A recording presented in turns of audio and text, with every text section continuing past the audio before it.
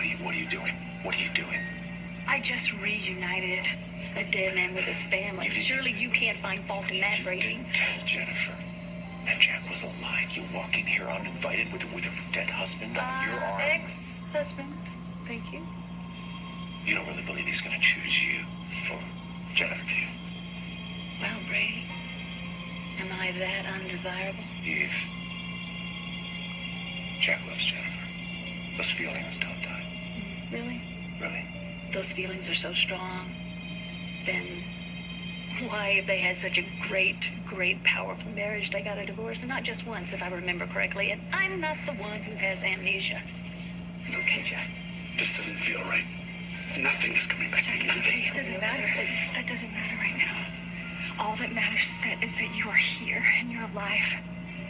All the noise, all the lights, all the people. We just we just need to go somewhere quiet, and I can take you home, and you can see Abigail, and, and we can just go through pictures together. No. I'm not going anywhere with you.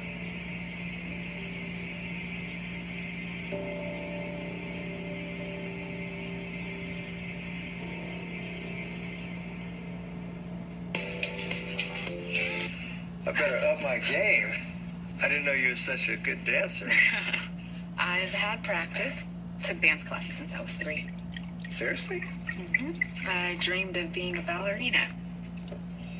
You would have made a beautiful ballerina. But I'm glad you didn't because I probably would have never met you. but all things considered, I'm glad you're a cop. And I'm glad that we got to spend this time together. Me too. Just spending more time together in 2019.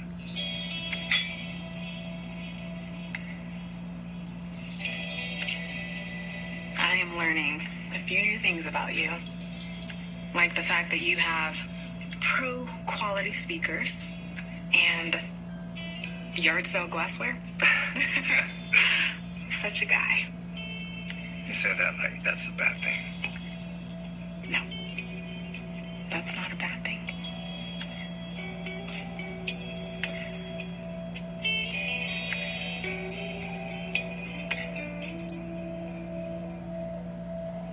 don't want to come home with me.